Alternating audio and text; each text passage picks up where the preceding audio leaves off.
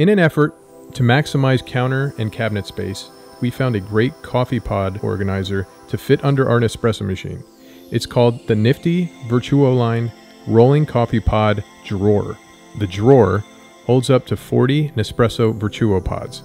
The Nifty organizer is also large enough for the VertuoLine to sit right on top of it and has wheels in the back so it can easily roll out to avoid hitting any cabinets above it.